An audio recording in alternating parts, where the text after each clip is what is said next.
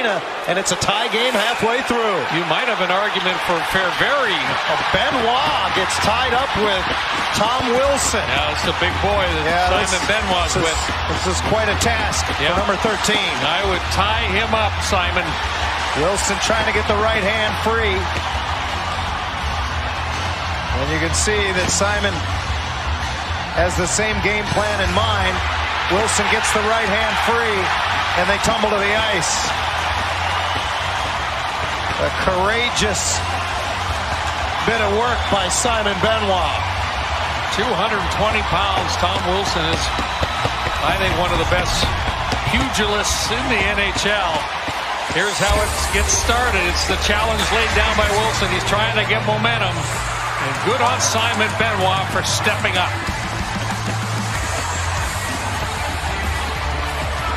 State mayhem moment. You referenced Benoit and Wilson before. Here they go. December 6, 2021. There they are, grabbing on.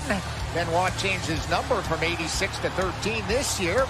Like Willie got the best of him that fight. And here tonight, got the first couple in, and then at the takedown, you'd have to say Willie with the W in the first two bouts with Benoit. Simon Benoit leads uh, Anaheim in hits. Tom Wilson getting things readjusted in the sin bin. And I think Benoit's a great story. You know, as an 18-year-old, he was an undrafted development camp invitee.